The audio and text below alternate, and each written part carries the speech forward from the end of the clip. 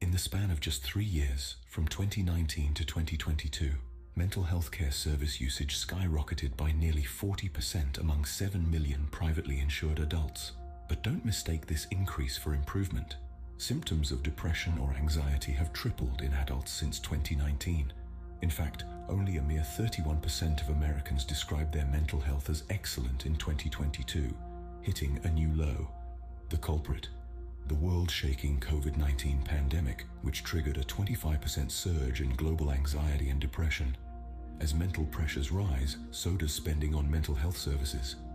But with the public health emergency over, Many relying on virtual mental health services may soon find themselves cut off. Meanwhile, the market for anxiety relief booms, with businesses scrambling to meet the rising demand. Remember, mental health matters.